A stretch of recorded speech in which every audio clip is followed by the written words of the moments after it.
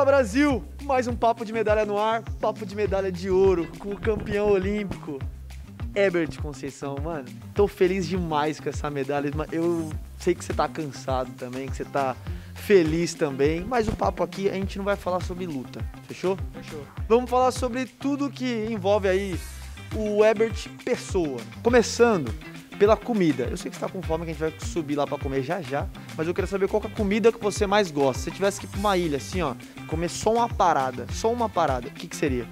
Comida baiana caruru. Batendo tudo, pesadão, cheio de azeite e camarão. Música. Tem alguma música, pô, que você gosta de ouvir?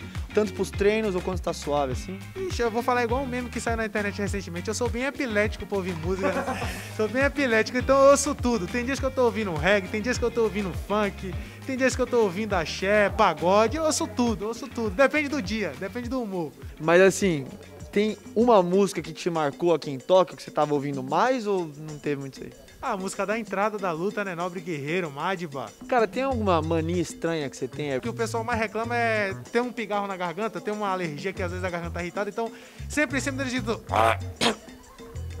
Já sei que você tá chegando pelo pigarro. Você já parou pra pensar no que você seria se você não fosse um atleta? Ah, fácil, fácil jogador de futebol. Fácil. A gente sabe que você treina pra caramba, que o boxe é puxado, mas chega uma hora que você desliga, que você fica suave mesmo. Você não precisa fazer nada o que, que é o seu nada? Tipo, o que, que você mais gosta de fazer quando você não, você não tem que pensar em treino? Nada. Faço nada. Fico deitado, faço nada, vou no quarto dos meninos zoar, acordar ele, tá dormindo, acorda, pô, tá fazendo o que aí? Vamos, vamos resenhar. Os caras, pô, tá carente, velho? É, pô, vamos resenhar, pô. Fora isso, eu gosto de ver jogo de futebol, gosto de jogar futebol pra caramba também. Filme e série, vai. Filme e série assim eu não, não vejo tanto. Eu fico procurando algumas boas indicações, mas nem sempre eu consigo, perco logo a paciência, fico vendo vídeo aula no YouTube, vídeo de, de história, fico vendo é, geopolítica, enfim, um monte de coisa aleatória no YouTube. Fico vendo vídeo de receita, principalmente quando eu tô perdendo peso. Breve, breve, de campeão olímpico para Masterchef. Além de tudo, o cara que quer ser cozinheiro, geopolítico, jogador de futebol, boxeador. Mas, Herbert, a gente vê, cara, que você é muito espontâneo. Quando acaba a luta, o que tá dentro sai, né? Mas, quando eu falei com ele antes, sei lá, uns dois meses, ele tinha falado que ele tinha pensado em fazer dancinha, pensado nas coisas. O que acontece na hora? E, eu, e você acredita que hoje, de novo, eu ensaiei dancinha, ensaiei comemoração. Não saiu nada do que eu tinha ensaiado, nada.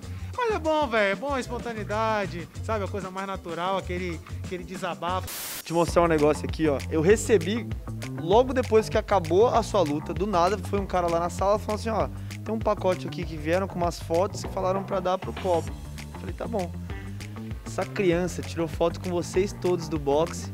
Queria deixar para vocês. Nossa, que lindo, que lindo. Eu, eu, amei a energia do povo japonês e a gurizada também. Fechou, Heber, brigadão. Então esse foi o Papo de Medalha com o campeão olímpico. É aqui, ó, é aqui, ó. Foi, essa, foi, foi esse punho aqui, rapaziada. Foi esse aqui, ó. É nóis, ó.